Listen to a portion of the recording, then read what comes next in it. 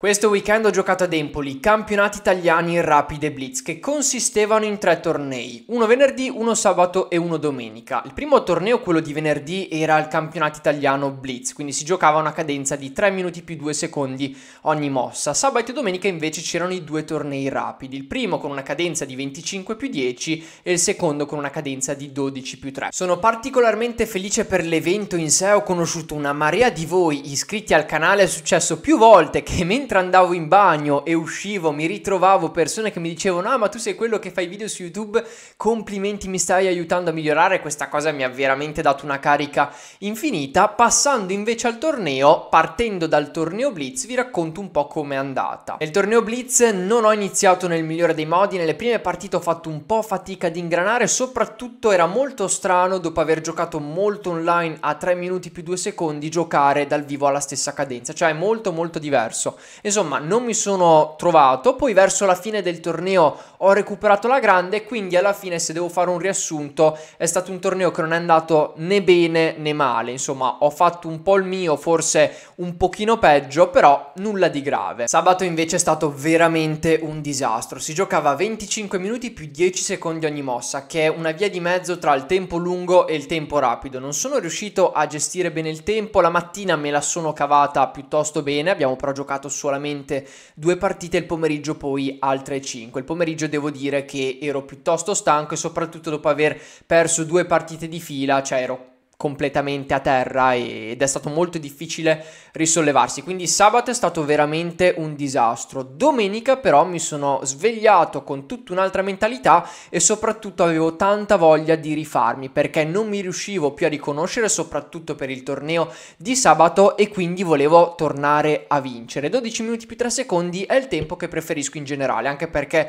la maggior parte dei tornei semilampo hanno quella cadenza quindi ci sono un pochino più abituato e devo dire dire che è andata veramente alla grande perché non solo sono arrivato decimo assoluto in tutta Italia ma ho anche vinto il premio come campione italiano nella categoria dei maestri. La mattina sono partito alla grande su quattro partite giocate, ho ottenuto tre punti con due vittorie e due pareggi, ho battuto dei maestri fide e soprattutto ho pareggiato con il giovane maestro internazionale Edoardo Di Benedetto che poi alla fine è arrivato terzo assoluto, quindi super soddisfatto anche del gioco che ho portato in queste partite che mi hanno dato anche la carica per il pomeriggio. Al quinto turno, quindi il primo del pomeriggio, ho pareggiato con un maestro fide e al sesto turno è arrivata la prima sconfitta del torneo contro un forte maestro internazionale, si chiama Castaldo, ha vinto meritatamente e quindi ci sta una sconfitta. Dopo ho vinto due partite di fila battendo dei candidati maestri e arrivo all'ultimo turno. All'ultimo turno gioco contro Nicolas Perossa, nato nel 2009, maestro FIDE, che nel recente campionato del mondo giovanile Under 14 ha ottenuto un terzo posto, quindi sicuramente uno dei talenti italiani più promettenti. Gioco con il bianco e questa sarà la partita che vi mostrerò in questo video, non vi faccio nessun tipo di spoiler e iniziamo subito con l'analisi di questa partita. Gioco pedone 4, il mio avversario gioca la difesa francese, qui devo un attimino scegliere tra le varianti che conosco quale giocare. Quella con cui mi trovo meglio in generale è cavallo C3 anche se recentemente sto valutando anche la variante di cambio. In questa partita però ho deciso di prendere spazio quindi gioco con E5 e qua siamo in teoria cavallo C6, cavallo F3, donna B6 gioco con alfiere D3 che non è un pedone in presa cioè il nero non può mai veramente catturare questo pedone perché dopo donna per D4 alfiere B5 scacco andrebbe a guadagnare la regina del nero. Comunque su alfiere D3 il mio avversario avversario gioca alfiere di 7 e qui decido di catturare in C5. Alfiere per C5, l'idea del bianco dopo la cattura in C5 è spesso quella di giocare con B4 e poi giocare sulla casella in D4 forte che i pedoni del nero non potranno più attaccare perché il pedone C non è più presente, il pedone E è bloccato dal pedone in E5, qui devo però prima difendere il pedone in F2 quindi gioco al rocco e immediatamente dopo vorrò spingere il pedone in B4, quindi qui il nero me lo impedisce spingendo il proprio pedone in A5. 5. Sviluppo il cavallo, molto spesso il cavallo da D2 è diretto in B3 attaccando l'alfiere per poi saltare in D4, proprio la casella forte di cui vi ho parlato prima e qui il mio avversario gioca con donna 7, una mossa utile per dare la via di fuga all'alfiere in B6, in modo tale che su cavallo B3 l'alfiere possa rimanere su questa diagonale a infastidire anche il pedone in F2, quindi a rendere più difficile lo sviluppo della torre che ora è in F1. Gioco con pedone C4, questa credo sia una novità teorica e l'idea è aprire il centro della scacchiera sfruttando il fatto che il re del nero è ancora lontano due mosse dall'arrocco. Il nero deve infatti sviluppare il cavallo che gli costa un tempo e poi arroccare il secondo tempo. Nel frattempo voglio creare problemi al centro della scacchiera, aprire le colonne centrali e creare qualche grattacapo al re del nero. Ovviamente l'arrocco lungo sarebbe troppo pericoloso anche perché si sta per aprire la colonna C e qui il nero deve prendere una decisione. Cosa fare con il proprio centro. Su D per C4 il bianco gioca semplicemente cavallo per C4 e molto presto un cavallo atterrerà in D6, magari il nero sarà costretto a dare l'alfiere camposcuro e a quel punto gli alfieri del bianco potranno attivarsi e giocare alla grande dato che la posizione è comunque aperta. Il nero quindi potrebbe giocare pedone D4 dopo pedone C4, quindi spingere e tenere chiuso il centro. A quel punto però il mio cavallo può sfruttare la casella in E4, vado ad attaccare l'alfiere in C5, quando questo alfiere si ritira posso giocare con alfiere F4, una mossa utile per sostenere la casella in D6 e poi giocare proprio con cavallo di 6 scacco. Come prima il nero sarà costretto a dare l'alfiere per evitare di perdere l'arrocco, ma a quel punto la coppia degli alfieri del bianco sarebbe eccezionale. In partita quindi dopo pedone C4 il mio avversario gioca con cavallo B4, attacca l'alfiere in D3 e sulla cattura in D5 il cavallo sarà pronto a ricatturare. A quel punto sarebbe posizionato in un ottimo avamposto centrale e i pedoni del bianco non potrebbero più attaccare questa casella proprio perché il pedone E è già stato spinto troppo e il pedone C è sparito visto che ho catturato in D5. A questo punto salvo l'alfiere, lo metto in B1 e molto spesso con pedone A3 potrò ricacciare il cavallo indietro e qua il mio avversario va a catturare in C4 prima che io possa proprio allontanare il cavallo e poi catturare in D5. Lì sarebbe un disastro per il nero perché il centro inizierebbe ad aprirsi, dopo per D5 qua ci sarebbe un pedone isolato, quindi va a catturare in C4. A questo punto potevo catturare in C4 ma mi dava un po' fastidio alfiere B5, questa inchiodatura tra cavallo e torre, il nero a volte può giocare anche con donna 6 rinforzando questo attacco, insomma non mi era chiara la situazione, quindi ho pensato di passare dai 4 che tra l'altro va ad attaccare l'alfiere in C5, in entrambe queste caselle il cavallo va ad attaccare la casella in D6 ma da qua attaccando anche l'alfiere velocizzo un po' di più il gioco. A questo punto su qualcosa come alfiere 7 potevo giocare alfiere 3, attacco la reginina 7 che si sposta e poi gioco con alfiere C5, vado a scambiare gli alfieri camposcuro perché questo alfiere del nero è il suo pezzo più importante e va a difendere la casella debole in D6. Dopo il cambio di questi alfieri la regina è sotto attacco, deve spostarsi Dando un occhio all'alfiere in D7 che ora attaccato da cavallo e regine, su donna C6 semplicemente me ne torno indietro e potrò sfruttare la casella in D6 con il mio cavallo. Ricordatevi che l'alfiere da lontano sta difendendo il cavallo in E4, quindi la regina non può mai catturare. Tornando quindi alla partita dopo cavallo E4, il mio avversario ha giocato con cavallo D5, tappando la colonna D e centralizzando il proprio cavallo.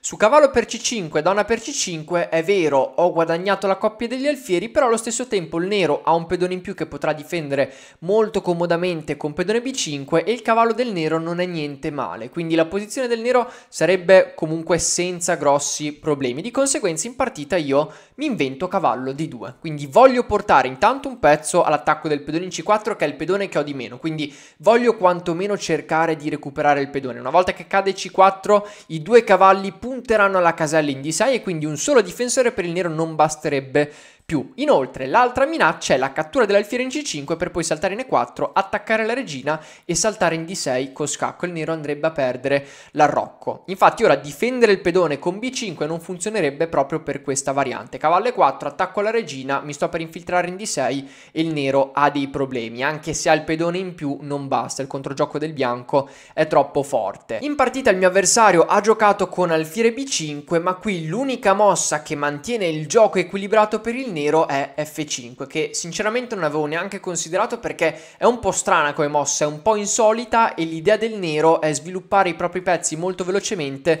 per arroccare corto, dando anche indietro il pedone di più che infatti il bianco va a catturarsi e qui il nero mantiene la parità con una linea completamente fuori di testa. Va prima a catturare il cavallo in E4 che ora sta attaccando l'alfiere in C5, quindi il nero vuole mantenere la coppia degli alfieri. Dopo alfiere per E4 il bianco sta attaccando il pedone in D5 ma il nero se ne frega e arrocca corto, creando controgioco sul pedone in F2. Il bianco va a catturare in D5 se il nero ricattura donna per D5 sarebbe scacco e cadrebbe l'alfiere in D7, quindi qua il nero deve giocare torre per F2, dopo torre per F2, alfiere per F2 scacco, re H1, il nero continua a non poter mangiare l'alfiere in D5 perché dopo donna per D5 scacco cadrebbe l'alfiere in D7 e qui l'unica mossa che ha il nero per recuperare il pezzo di meno e portare la partita in parità è donna A6 che secondo me è una mossa introvabile soprattutto pensando di doverla trovare quando giochi pedone F5. La questione è che ora minaccio di catturare perché dopo donna per D5 scacco ad esempio ho alfiere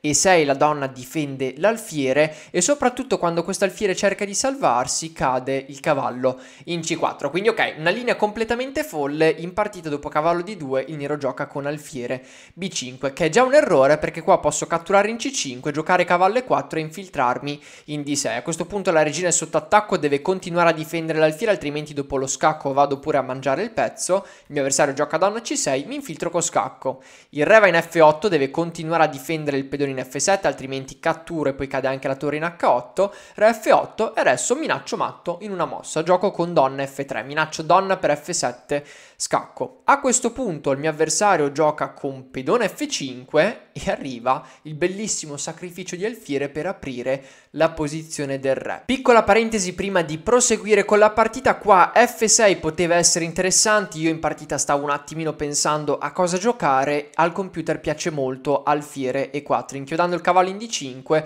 e su qualcosa come cavallo g7 per proseguire con lo sviluppo il bianco può giocare con donna h5, minacciamo il matto in in F7 e su pedone G6 la casella in H6 è scoperta, la regina del bianco può infiltrarsi e dopo re G8 mossa unica possiamo catturare in F6. C'è la minaccia di donna G7 matto e soprattutto il cavallo del nero non può catturare perché è inchiodato sulla donna in C6. Quindi questa è l'idea del computer, giocare con alfiere 4 e dopo il nero non si muove più. Per informazione in questa posizione la valutazione del computer è più 3.7, quindi il bianco ha posizione completamente vinta. Su pedone F5 la valutazione è più 3.9 con alfiere per F5, quindi qua sto vincendo, sacrifico l'alfiere e per F5, donna per F5 scacco e il nero ha dei problemi. Se il re scappa in E7 posso proseguire con donna F7 scacco, re si sposta, donna F8 e come minimo cade la torre in A8. Il re del nero continua ad essere parecchio in pericolo, questa torre è incastrata, il cavallo è inchiodato, a volte può arrivare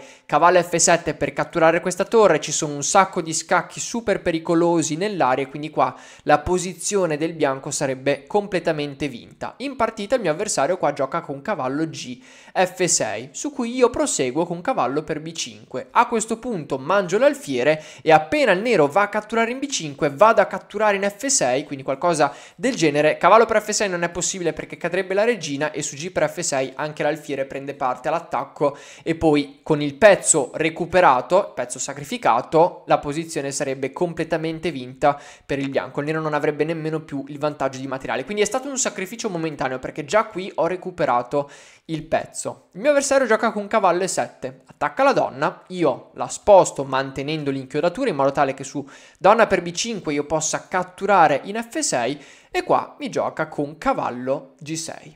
Quindi posizione completamente vinta per il momento per il bianco e qui penso, intanto essendo una partita rapida iniziamo ad avere entrambi poco tempo e valuto donna g5 che è molto interessante perché continua ad attaccare il cavallo in F6 e soprattutto su donna per B5 questa mossa è possibile perché la regina è difesa dall'alfiere. E in partita ho calcolato questa linea, donna per B5 e per F6, donna per G5, catturo presa in F6, alfiere per F6 ed entro in questa posizione dove ho un pedone di più, gioco facile, ho l'alfiere che è più forte del cavallo e quindi ho una posizione che tecnicamente si può vincere senza troppi problemi. Però è anche vero che il re in F8 non ha preso matto e la posizione che avevo prima mi sembrava ancora più schiacciante, di conseguenza ho evitato donna G5. Inizio ad avere poco tempo e dico, va bene, allora manteniamo l'inchiodatura sul cavallo in F6 e quindi gioco donna F5, che precedentemente mentre calcolavo avevo visto che non andava bene, poi però me ne sono dimenticato, mi sono dimenticato del motivo per cui donna F5 non andava bene, sarà successo sicuramente anche a qualcuno di voi e qui il problema di questa mossa è che dopo donna per B5 rispetto a donna G5 l'alfiere ora non difende la donna in questa casella e quindi non posso mangiare il cavallo perché semplicemente il pedone è inchiodato, quindi così facendo ho semplicemente lasciato un pezzo in presa, mandando praticamente all'aria la partita. Qui la mossa corretta, che è anche quella che ha visto il mio avversario, che mi ha spiegato dopo la partita, è donna di 4. Quindi sposto la donna dall'attacco del cavallo e vado ad aiutare il pedone alla cattura del cavallo in F6 e poi del pedone in G7. Qui la partita poteva proseguire con donna per B5, cattura in F6, re F7, mossa unica, altrimenti se entro con la donna e poi con l'alfiere è un disastro. Re F7, cattura in G7, la torre si sposta, ho donna G G4 e questa posizione qui per il bianco è decisiva, tra l'altro con un piano molto istruttivo, pedone A4 che attacca la regina ma l'idea è alzare la torre sulla terza traversa per poi posizionarsi o in F3 o in G3 o in H3 e questa torre supporterà l'attacco che già vede coinvolti regina e alfiere, quindi il re del nero sarebbe troppo esposto e soprattutto il bianco ha comunque un pedone di più. In partita però gioco donna F5 e dopo donna per B5 ho perso il pezzo.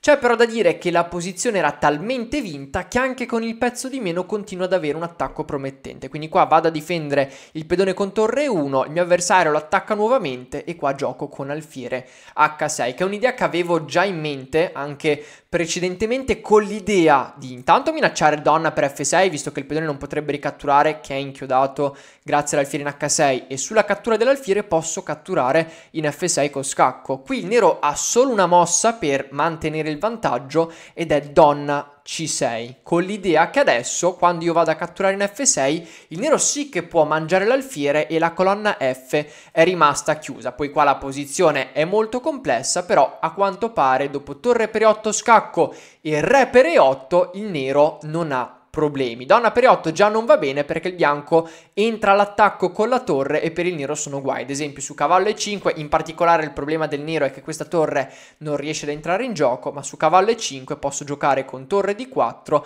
e quando il cavallo si sposta per minacciare matto del corridoio con la donna posso giocare torre 4 e qui l'attacco del bianco è travolgente. Ad esempio su donna f7 arriva già matto con donna c8, il nero deve sacrificare per forza la regina dopo donna per e8 abbiamo scacco matto, quindi la posizione del nero qua è critica. In partita il mio avversario non trova donna c6 che effettivamente è una mossa molto difficile da trovare soprattutto con poco tempo. Il mio avversario cattura l'alfiere, io mangio il cavallo in f6 e a quanto pare secondo il computer sono tornato in vantaggio. Adesso il vantaggio è di più 1, che poi è sempre facile guardare la valutazione del computer dopo la partita, però quando sei lì con poco tempo non è affatto facile capire cosa sta succedendo veramente perché hai appena lasciato un pezzo in presa, è vero è attacco interessante, però stai comunque attaccando praticamente solo con la regina e non è chiaro come riuscirai a dare scacco matto. Quindi la posizione è molto confusa, il mio avversario gioca a G8 e io porto in gioco anche l'altra torre. Sicuramente percepivo l'iniziativa che avevo e non mi davo per perso, perché comunque l'attacco qua c'è. Donna B4, quindi il mio avversario lega la mia torre che non potrà entrare in settima perché cadrebbe la torre in E1 con scacco matto e qui gioco con torre 4 che è l'errore che porta di nuovo in vantaggio il nero. Qui la mossa corretta sarebbe stata pedone e6. Con la minaccia di donna f7 matto io temevo in partita donna e7, però a quanto pare dopo donna f3 sto mantenendo insomma tutti i miei pezzi attivi e sto minacciando di entrare in d7 con la torre. Su torre d8 posso catturare, dopo donna per d8 arriva il matto in f7. Quindi questo era il modo corretto di giocare per mantenere il vantaggio. Dopo torre 4 con l'idea magari a volte di giocare torre g4 e sacrificare la torre sul cavallo per dare quantomeno uno scacco perpetuo, non funziona perché qui dopo donna E7, il nero torna in difesa e ho perso un po' l'attacco che avevo. Qui sposto la donna, ovviamente cambiare le regine equivale ad abbandonare, quindi devo assolutamente mantenerle sulla scacchiera. Dopo reg 7 il nero sta cercando di ricoordinare i suoi pezzi. Se la torre entra in gioco, difficilmente l'attacco riuscirà ad andare a buon fine. Gioco con pedone F4, quindi voglio avanzare col pedone e poi a volte giocare F6 scacco con forchetta tra re e regina. La torre però va in D8, quindi nero cerca il cambio dei pezzi. Io rifiuto torre F1 per supportare ancora una volta volta spinta in F5, arriva torre F8, spingo lo stesso in F5 e dopo cavallo per E5 cerco di giocare con donna F2 con l'idea di intanto supportare a volte la spinta in F6 che però ora è controllata a sufficienza e quindi non mi porterà da nessuna parte, però soprattutto di giocare torre 1, attaccare questo cavallo e poi andare a mangiarlo con donna G3 scacco. Quindi il nero deve stare attento, il mio avversario gioca bene, gioca con re H8, non ci sono più scacchi interessanti, qua io cerco di attaccare il cavallo, torre D5, abbiamo pochi secondi entrambi. Io qui ho 15 secondi, gioco donna G3 e dopo torre per F5 la partita è proseguita 2-3 mosse, poi io ho perso di tempo, ma già qua ci possiamo fermare perché il mio attacco è completamente svanito il nero è riuscito a difendere con tutti i suoi pezzi il cavallo, quindi qua semplicemente ha un cavallo e un pedone di più. Quindi alla fine, nonostante la partita eccezionale che stavo giocando, ho perso proprio per via di donna F5, che poi non è l'errore finale perché abbiamo visto che sono comunque tornato in partita, però poi era molto più complesso cercare di vincere e nulla. Ho perso, meno male che questa partita non ha influenzato il risultato finale del torneo, sicuramente vincendo avrei ottenuto un sesto posto a pari punti con il quarto, quindi sarei stato molto più felice, però così facendo ho comunque vinto il titolo di maestro, comunque campione italiano tra i maestri, quindi sono soddisfatto del torneo. Ho riguadagnato ampiamente il elo che avevo perso il giorno prima e vi ho mostrato questa partita perché secondo me sia interessante a livello di gioco, sia perché mostra come non ci si può rilassare veramente un secondo contro questi giocatori fortissimi, che è un attimo che ti castigano. Quindi complimenti a Nicolas che è stato lì in posizione inferiore, ha aspettato il mio errore, il mio errore è arrivato e poi mi ha punito. Noi ci vediamo al video di domani dove proseguiremo l'analisi del torneo di Verona. Ci mancano due partite.